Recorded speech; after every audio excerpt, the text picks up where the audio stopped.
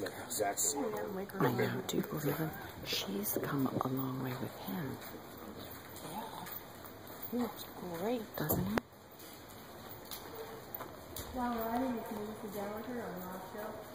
And up next is Rebecca Cord. Rebecca. Cord. Thank you. Wow. You get to have the microphone. Huh? Yeah, that's pretty impressive. I'm calling you.